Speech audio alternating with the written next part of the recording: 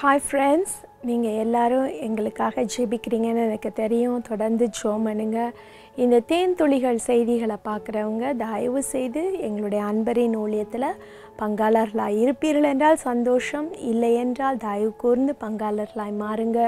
எங்களுடைய அன்பரின் ஊழியத்தை பற்றி நீங்கள் எங்களுடைய வெப்சைட்டில் எங்களுடைய பத்திரிகையின் வாயிலாக தெரிந்து கொள்ளலாம். மறந்து போகாதிருங்க. அப்போ இன்னும் அதிகமாக பிரயோஜனமான காரியங்களை நீங்கள் கற்றுக்கொள்ள முடியும். எட்வர்ட் கிம்பல் என்று சொல்லப்படுகின்றதான ஒரு ஊழியர் இருந்தார். அவர் ஒரு சண்டே ஸ்கூல் டீச்சர் ஞாயிறு பள்ளி ஆசிரியர். அவருடைய அந்த ஞாயிறு பள்ளியில் ஒரு சின்ன ஒரு பையன் வாலிப பையன் அடிக்கடி வந்து ஏசப்பாவை பற்றி சொல்லும் பொழுதுலாம் ரொம்ப டிஸ்ட்ராக்டடாக இருப்பான் சரியாக கேட்க மாட்டான். இவருக்கு அவன் மேலே ஒரு பாரம் இருந்தது. அவன் வேலை பார்க்குற ஷூ கடைக்கு போய் அவனுக்கு இயேசுவை பற்றி சொல்ல ஆரம்பித்தார். அவனை பொறுமையாக ஆண்டவருக்குள்ளே வழி நடத்தினார். அந்த வாலிபன் ஏசப்பாவை ஏற்றுக்கொண்டான். அவனுடைய பெயர் டிஎல் மூடி. டிஎல் மூடியை பற்றி உங்களுக்கு எல்லாத்துக்கும் தெரியும். அநேக ஆத்துமாக்களுக்காக பாரப்பட்டு பிரசங்கித்து ஜெபித்து அநேகரை ஆண்டவருக்குள்ளே நடத்தினவர். இந்த டிஎல் மூடி இன்ஸ்டிடியூட்டில் இன்ஃப்ளூயன்ஸ் ஆன ஒரு மனிதன் வில்பர் சாப்மன். இந்த வில்பர் சாப்மனுக்கு எப்போ பார்த்தாலும் ஒரு டவுட் இருந்துகிட்டே இருக்கும். என்ன டவுட்டு?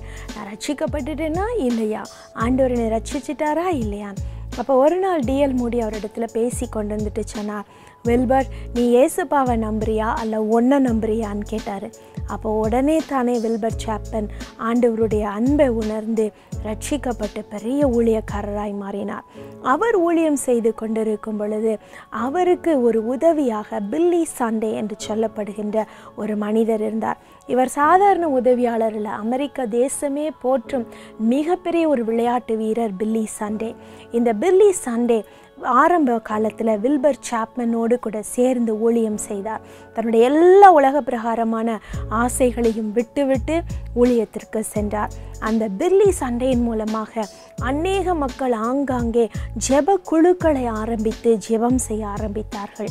அப்படி ஆரம்பிக்கப்பட்ட ஒரு ஜெப குழு சார்லட் நார்த் கேரளைனா என்கின்ற இடத்துல நடந்தது. அந்த இடத்துல அந்த ஜெப குழுவினர் என்ன செய்தாங்க? ஒரு நாளில் மொர்டிகா ஹேம் என்று சொல்லப்படுகின்ற ஊழியக்காரரை கூப்பிட்டு ஒரு மீட்டிங் நடத்தினார்கள்.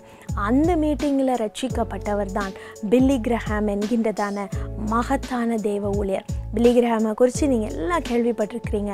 கோடிக்கணக்கான மக்களை ரட்சிப்புக்குள்ளே கொண்டு வந்தவர். இதை எதற்கு நான் சொல்லுகிறேன்? சுவிசேஷத்தை நாம் கண்டிப்பாய் சொல்ல வேண்டும். அது நம்மேல் விழுந்த கடமை. It is our duty to proclaim the gospel அடுத்ததான் நம்ம சுவிசேஷத்தை எல்லாருக்கும் எப்படியும் சொல்லலாம். அது வந்து there are no conditions there are no restrictions நீங்கள் எல்லாருக்கும் சொல்லலாம் அது நிபந்தனைகளும் கிடையாது. இல்லை இதுதான் அதுதான் சொல்லி ஒரு வரையறையும் கிடையாது. யாருக்கு வேண்டுமென்றாலும் எப்படி வேண்டுமென்றாலும் சொல்லலாம். ஆனால் சுவிசேஷம் சொல்லப்பட வேண்டும். நீங்கள் சுவிசேஷம் சொல்லும் பொழுது அதனுடைய பலன் உடனே நின்று போகாது. அதனுடைய பலன் நித்திய ஜீவன் வரைக்கும் நிரந்தரம் நிரந்தரமாய் சென்று கொண்டே இருக்கும். எப்படி எட்வர்ட் கிம்பல் ஆரம்பித்து பில்லி கிரஹாமில் முடிந்து அதுக்கப்புறம் கோடிக்கணக்கான மக்களுக்கு சென்றடைந்திருக்குதோ அதே போல் நீங்கள் ஒருத்தருக்கு சுவிசேஷம் சொன்னாலும் அது இட்டர்னிட்டி வரைக்கும் நித்திய ஜீவன் வரைக்கும் நிரந்தரமாய் உங்களுக்கு பலனை பெற்றுத்தரும். மறந்து போகாதீங்க. இன்றைக்கு யாருக்கு சுவிசேஷம் சொல்ல போகிறீங்கன்னு யோசித்து அதை செயல்படுத்துங்க. God bless you